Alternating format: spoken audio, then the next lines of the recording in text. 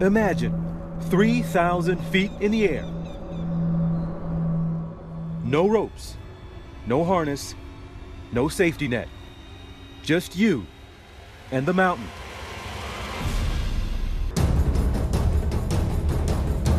This is the world of free solo climbing.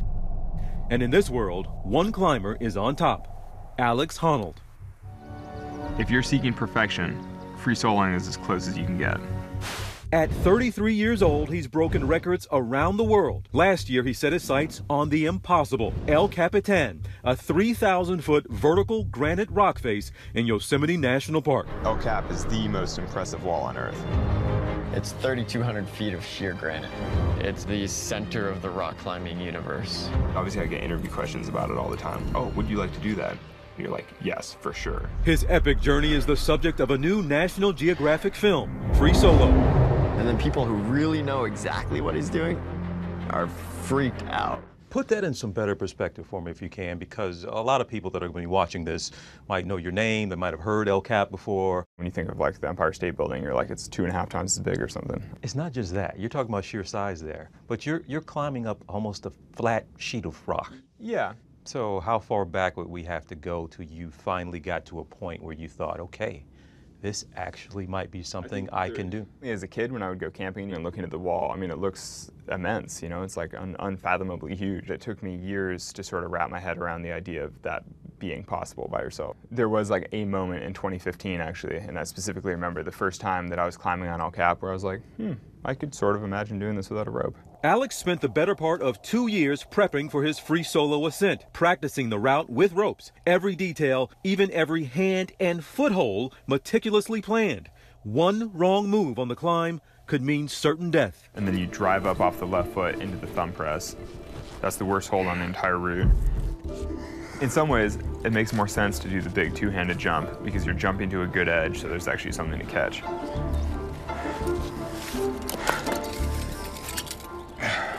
Inevitably adding to the stress of the climb, Alex agreed to do it all with cameras rolling. How much of that preparation was also getting used to camera crews? But on the actual day of the solo, we had all sort of refined our, our processes to the point it was sort of perfectly done. As Alex is moving up the wall, you are literally shooting next to him and tracking him, and as he climbs past you, you need to then put your camera equipment away, clip into your ascenders, and move up the rope into another position so that you can shoot him again. For husband and wife filmmaking duo Jimmy Chin and Elizabeth Chai Vasarhelyi, this film was a technical challenge and a personal one, as evidenced in this new behind the scenes footage.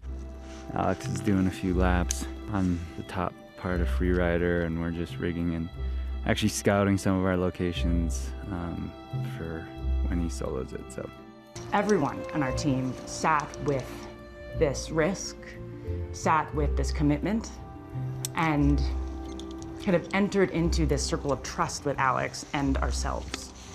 Filming Alex Free Soloing is extremely emotional. It's very taxing. It's, it's very scary.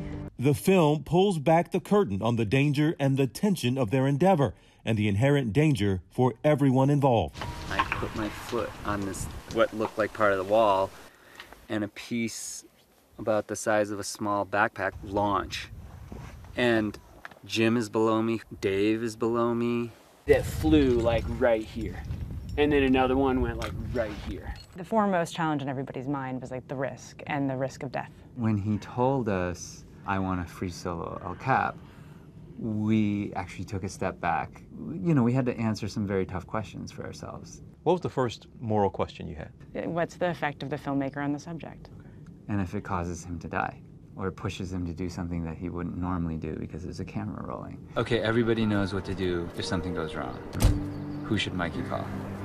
911, and the, the wheel will get kicked into gear and tell him what you know. All right. No mistakes tomorrow. How did you deal with that question, can we live with ourselves if something happens? It comes down to that idea of like a life well lived. I'm a professional climber. I know the mindset. We believed in his ability to do it, but we also knew that if we were going to do this, we we also had to execute perfectly. While training, Alex also enlisted the help of friend and fellow professional climber Tommy Caldwell.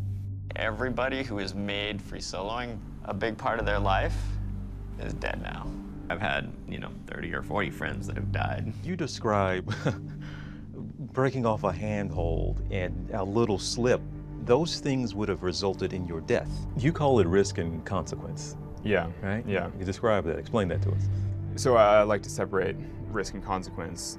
Consequence being, you know, what will actually happen if if if you fall.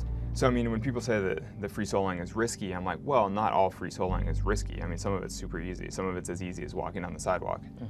but it's all very high consequence. So that's what you do. You mitigate the risk as best you can because once you're up there, you Mhm. actually feel pretty confident that you Yeah, I mean, are. ideally, yeah. And I, I think that's part of the appeal of free soloing is to take something that seems fundamentally scary and to make it feel comfortable and controlled. The film also explores whether Alex is simply built differently than the rest of us, able to make the impossibly dangerous impossibly normal. Several ex-girlfriends say that I had like personality disorders or things like that. Is my, is my brain intact? Your brain's intact. So, an interesting thing do you have no activation in your amygdala. Do you think my amygdala actually just doesn't work or something? Your amygdala works, it's just that it needs a much higher level Much of stimulation. stimulus. Things that are typically stimulating for most of the rest of us are not really doing it for you. I took that to mean that basically over time I've sort of desensitized myself to a certain kind of stimulus. You know, I've been climbing for over 20 years, and it used to be a lot of things in climbing used to be quite a bit more scary for me. And then over time, you know, I've gotten used to it, I've gotten desensitized, and now I feel quite comfortable. The emotional toll on Alex's friends and family in the lead up to the climb is at times difficult to watch, especially when it comes to his girlfriend, Sanni McCandless. It's awesome. Pretty much makes life better in every way. It's really hard for me to grasp why he wants this. What if something happens? How did you prepare differently? Did you find that it was a different experience being in such a serious relationship this time around? I mean, the reason it sort of worked out is because Sanni, my girlfriend, sort of just told me, you don't need to break up with me to, to climb. She was kind of like, you can have both. And in some ways, it was the first time that had really been presented to me. I was like, really? Like, can I do that? One part that really stands out is when your girlfriend is sitting by herself in the car and she's in tears. Like, why does he have to do this? I mean, that's hard to watch for sure. You know, it is really hard to do something if you know that the somebody that you care about deeply is going to be so affected by it.